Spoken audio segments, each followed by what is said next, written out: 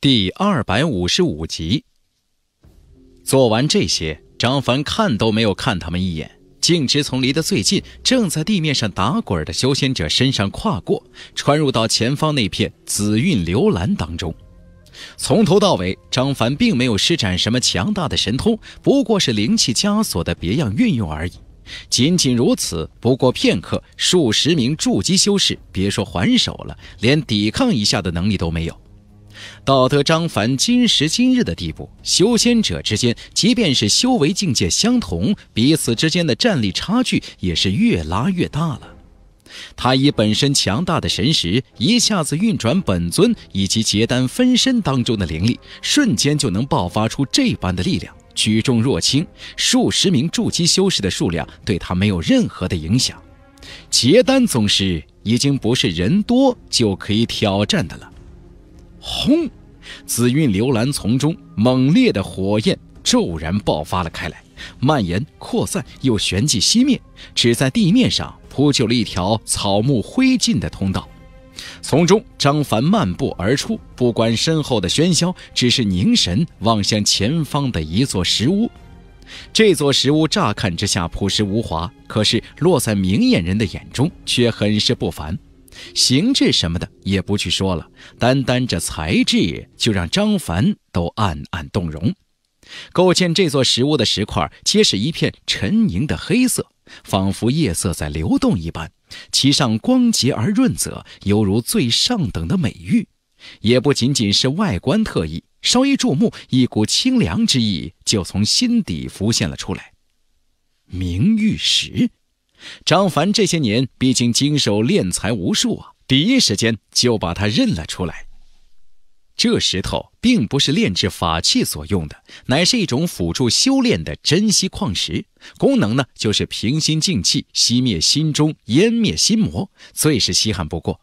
一般人得知，不过是以其雕刻成蒲团一类的东西。或者奢侈点的，就是做一个明玉床，却不想玄阴宗竟是直接以明玉石建成了这么一间闭关静室，这手笔当真是了得啊！能在这样的静室中闭关，婉儿受重视的程度也可见一斑了。张凡不过看了两眼，也就不再多注意了，一步踏出，七进进室。身后远处破空呼啸之声不绝于耳，声声喊叫呵斥连绵不绝，显然又有不少人前来了。张凡此时自是不会再耽搁了，先前一路都没有遇到结丹级别以上的修仙者，就可知先前通过李富贵的话做出的判断，玄阴宗现阶段处于真空期，实力虚弱不假。可是再怎么虚弱，无论如何真空必然还会有高手留守。等他们赶到，被其缠上，以他的神通脱身不难。可是要想弄清楚婉儿现在的情况，却不是那么容易的了。轰！一声轰鸣，石屋大门洞开，一股冰凝一般的雾气喷涌而出，周遭一片寒彻。大袖一挥，风乍起，吹散所有朦胧。石屋之中的情况。顿时显露无遗。嗯，张凡豁然止步，面沉如水的望去，在他的视线所及的地方，正可见得婉儿仰躺在云床之上，一动不动，恍若沉睡的身姿。在那里，一个不停散发着沉凝寒气的明玉石床之上，婉儿平静地仰躺着，双手交叠于腹部，脸上神色平静，恍若沉睡中一般。这般距离，以张凡的神通，是否沉睡，又如何能够分辨不出呢？在他的感知里，眼前的人儿分明是生机渐逝，呼吸微弱，急不可闻，曼妙的身段没有丝毫起伏，好像是冰封中的美丽一般。若不是恍若堆积满沙石，缓缓流动着的体内灵力，张凡几乎不敢肯定眼前的可人儿是不是还活着呢？婉儿的情况可比李富贵所说的情况还要严重，这哪里是不妙啊，简直是已经在死亡的边缘了。在她如凝冰一般白净的皮肤上，隐隐清气浮现，这清气每一次流动，都似乎在加深这一点儿，从皮下浮出一点儿，好像正在不停地吞噬着婉儿的生命，渐渐壮大着几身。一眼扫过，婉儿此时的情况瞬间被张凡尽收眼底。之所以没有马上上前查探，乃是因为这十室之中，除却他与婉儿之外，还有一人。那是一个中年美妇，体态丰盈。洞察到时势，洞开，回眸了一眼，说不尽的光彩显露。这般的成熟风韵，恰如一朵绽放到极点的牡丹一般，让人见之难忘。可是他现在正在做着的事情，却让张凡的脸色陡然沉了下来。中年美妇站立在石床之旁，凝脂双手高举着，在掌心下方一尺左右的距离上，一枚暗黄色的不规则球体悬浮着，正在不停地散发着朦朦胧胧的光华。这光华好像别有生命一般，一经散发出来，就在不停地纠结着幽寒的气息，充盈的灵气化作一道道细密的雾气。这些雾气一部分通过婉儿良久良久才进行一次的呼吸进入她的体内，另一部分则直接是完整的衣物如无物，不停地扑到婉儿的身上，旋即消失不见，好像通过皮肤透过毛孔没入其间似的，让张凡面沉如水的。正是由于这些雾气的投入，婉儿的脸上、手背上，所有显露于外的皮肤上，愈发的显示出青色来，好像这些雾气都是充足的养料，正在不停的喂养着清气一般。隐隐的，张凡似可以在婉儿平静的容颜中看出一点痛苦，一点挣扎。仰躺着在明玉床上的身子都在微微的颤动。再也不迟疑。一步踏出，张凡瞬间骑进前去，从破开石屋大门入内，到得此时不过刹那的功夫。那名中年美妇回眸一眼，刚刚在张凡的身上扫过，出去！一声冷喝从中年美妇的口中爆发了出来。与此同时，她一手保持着类似兰花指的姿势，另外一只手腾了出来，对着张凡遥遥一按，轰！漫天的幽寒气息，似自九幽爆发而出，化作绕指柔肠，百转蛇躯纠缠而来。哼！张凡略一止步，同样一手按出，一片冰寒之中，炽热高温乍现。刹那之间，一冰寒，一炽热，两道洪流似等高的浪头迎面撞击，溅起无数的晶莹。紊乱的灵气瞬间迸发了出来，将石屋内的所有摆设尽数摧毁，便是石屋本身也晃动了一下，漫天的尘埃洒落，吱吱作声，似是承受不住的呻吟了开来。极有默契的无形的力量散布开来，始终护着石床以及上面的婉儿，任谁都没有将那战火向那个方向移动的意思，反而大家都小心翼翼地避开了。结丹修士，张凡与这中年美妇同时神色一凝，再也没有轻忽之意。先前刹那的功夫，张凡甫一入内，所有的注意力尽皆在婉儿的身上，甚至没有多看中年美妇一眼。对方也是如此，只是当成是一个普通的闯入者，急于驱赶。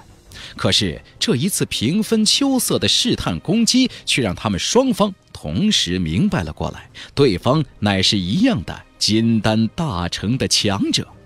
可是不同的是，单论境界，这个中年美妇还要更强一些。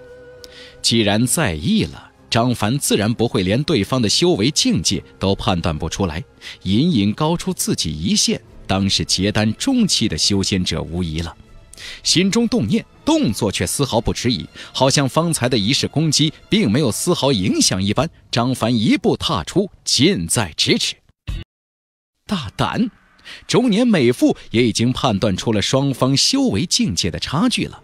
虽然他的一只手和部分心神都还在石床上方那个不规则的球体之上，但是并不妨碍他发挥实力。正常情况之下，对付一个结丹初期的修仙者，绰绰有余。空出的手掌翻动，晶莹的玉手化作残影无数，黝黑中泛着蓝光的衣袖褪起，显露出了饱满若莲藕一般的手臂，白莹莹的光华也随之从袖中冲了出来。这一次，不再是试探了。冲出袖中的白莹莹的光华，恍若月光一般。不过少一份清冷，多一份沉凝，感觉是好像每一点光亮之间，彼此都在吸引着对方，浑然一体之余，庞大的吸附力量在不断的散发。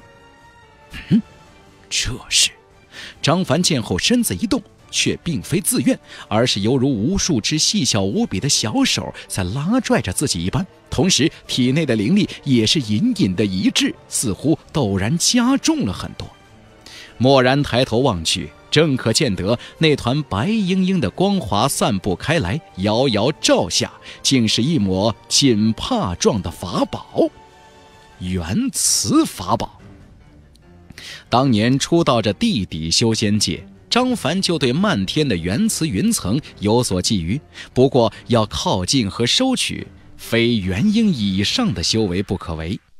后来得知，这元磁雨季也会带下不少的元磁之气。若是耐心收集个数十年，也不难凑够足够多的数量，炼制一件元磁法宝。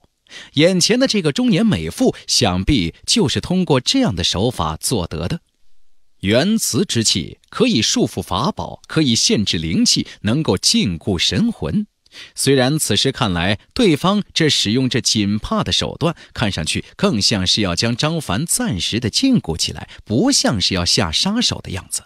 但是张凡又岂会将自己的生命放到他人的一念之间呢？更何况，张凡眼中神光一现，在婉儿的身上一扫而过，旋即蓦然沉静了下来，好像暴风雨前最后的酝酿。起。一声低不可闻的轻喝，一点火红缓缓从他的眉心处浮现，璀璨夺目的晶莹，张狂燃烧的火焰，好像一颗不停搏动着的水晶心脏一般，出现在了元磁锦帕与张凡之间的半空之中。炎龙心得到此宝之后，除却在浑元球中演化过一番，就再也没有施展过了。非是其他，而是没有合适的对手。眼前的这中年美妇正是这样的对手。仗着元磁法宝的神通，再加上他本身结丹中期的修为，真打起来更胜过那无涯老怪一筹啊！却是配得上张凡动用这炎龙心了。一声龙吟，恍如飓风一般，在明玉石室当中爆发开来。一个庞大的虚影蜿蜒曲折盘绕。瞬间遍布了整间石室，啊，龙！中年美妇的表情终于大变了，让她惊讶的自然不是冲色整间石室的龙形，天下多少神通法术都可以显化出神龙的样貌，便是她自己也掌握了几种，本不足以为怪。真正令她几乎不能自持的是这气息，是这神韵，以及这独特的灵力波动。到了他的这个级别，自然能够清晰地分辨出他们之间的不同了。单纯的灵力显化不过徒有其表，如出现在面前的这般，却是几乎真正的太古天龙的所在了。在那一刹那，中年美妇的确感受到了一种心悸之感，就好像真的太古天龙复活了，云中探爪袭来一般。复，再也不敢有留手之意。另外一只手也从不规则的圆球上方收回，双掌交叠成兰花状，遥遥轰出。霎时间，元磁锦帕恍若深呼吸了一下一般，骤然收缩了一下，漫天的元磁之气透射而出，好像一张弥天大网，将太古炎龙的身躯束缚。还等他继续想做什么呢？一个声音忽然自虚空中传来，说不尽的悠远之意。龙吟大泽，一切的光亮，一切的心神，尽数被太古炎龙的恐怖威慑所震慑了。其他的所有，仿佛都消失了一般。在声音传出的同时，中年美妇几乎都不能分辨张凡的位置了。她也无暇分辨了，因为龙吟大泽，虎啸深山，那是什么样的威势啊！一声龙吟，蓦然响彻。恐怖的气浪翻滚，好像要把整个大泽都掀起来。无穷的波纹扩散，天地万物都为之沉寂。只有无穷无尽的天龙之威骤然爆发了出来。轰轰轰轰轰！连绵不绝的轰鸣之声，似隐而不发良久的惊雷。这一次性的爆出，一声接着一声，一声大过一声，冲塞了所有，直冲霄汉。顷刻之间，石室的屋顶洞开，无数的碎石崩飞出去，在半空中解体，好似暴雨倾盆而落一般。在张凡的特意控制之下。太古炎龙的龙躯蜿蜒而上，裹挟着所有的威势从屋顶中穿出，没有伤及屋内的一分半点儿。只有中年美妇的原词锦帕，好像被伤到了元气一般，悲鸣了一声，倒飞而出。嗯，控制着炎龙身躯不散，下一步的攻击却戛然而止。张凡眼中闪过了一抹诡异之色。望向明玉床上，婉儿脸上陡然浮现出的红润之色，若有所思。你是何人？蓦然回首，望向接住自身法宝、面露惊骇之色的中年美妇。恰在张凡御史炎龙心击飞了中年美妇的法宝，占得绝对优势的时候，却是没有乘胜追击，反而顿了一下，停下手上的所有动作，蓦然开口问道。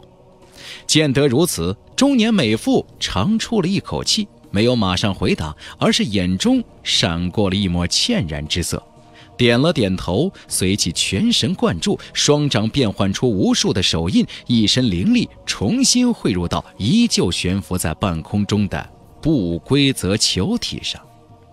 张凡看着这一切，仿佛明白了什么，一句话也不曾多说，只是手上一挥，劲风涌出，轰的一下。将石室的大门关闭，外部的所有喧嚣全部隔绝，石室之内顿时安静了下来。盘膝而坐，静静地看着中年美妇的尸尾。到得此时，他已然发现了不对劲儿的地方了。先前他根本不管对方是什么身份，可是现在却不一样了。大致一瞥，却是让他看出了问题的所在。此时，婉儿的脸上浮现出了一抹红润之色，可是这红润却是嫣红，乃是逆血上涌所造成的。而发生这一切的刹那，正是中年美妇出手还击之际。若是见得如此，他还有没有明白过来的话，也是枉费他二世为人多年的修炼了。石室之内鸦雀无声，只有半空中的土黄色的球体在滴溜溜飞快地转动着。每一次转动，都有一点点土黄色的光粒，仿佛被甩出来，没入到下方婉儿的身体之内。嫣红之色退下，一片青色浮现，一切都恍如张凡进来之时的模样。不过少顷，半空中的不规则球体就缩小了好几圈，此时看来只有绿豆大小了。长出一口气之后。中年美妇双手环转收弓，同时小心翼翼地把那绿豆粒儿大小的土黄色球体又收好。看她的动作，就好像这个大意一点儿就会忽略过去的小东西是什么无上的珍宝一般。怜爱地看了一下平静下来的婉儿，中年美妇回过头来望向张凡，美目之中眼波流转，似有异彩纷呈，上下打量了一番，问道：“这位道友。”你可是小徒婉儿口中的那位哥哥，啊，呃，不错，在下张凡见过寒月道友。张凡缓缓起身，拂衣施礼道：“现在他明白了，这个中年美妇就是李富贵口中所说的婉儿的师尊结丹宗师寒月。啊，方才张某真是鲁莽了，寒月道友莫要见怪啊。哪里，明明是寒月先行出手。”如何怪得了道友呢？两个人互相客套了几句，张凡就无心再寒暄了，上前两步来到明玉床前，无视寒月审视的目光，皱着眉凝望着仰躺不动、恍若沉睡的婉儿。在他的目视之下，还能见得婉儿貌似平静的容颜上，时不时的抽动着。秀气的黛眉微微蹙着，犹如西子捧心一般，好像有什么疼痛与苦楚在睡梦中依然清晰。爱怜地拉起他的手，感受着其间的冰凉。张凡叹息了一声，手上微微加力，一抹暖色蔓延，瞬间遍及婉儿的全身。这股淡红的暖色没有丝毫凌厉霸道之意，仿佛夕阳余晖，只让人感到丝丝的温暖。在这暖色的映衬之下，婉儿的脸色显得好上了很多，好像下一刻就会嫣然一笑，直起身子一般。可是张凡的脸上却陡然铁青，事情比他想象的更加严重。